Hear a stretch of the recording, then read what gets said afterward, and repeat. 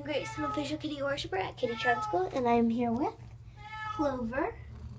And Clover is a beautiful little Siamese kitty, and she is looking for a home.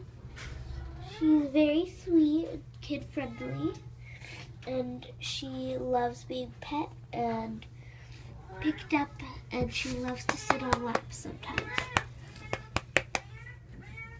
Hi. Come here. Oh, hello. Hello. She likes being brushed. She likes she likes purring a lot. She likes treats. She's very sweet. Here. Where's the camera? And of course, she loves to rub against the camera. Oh. Kitty meow.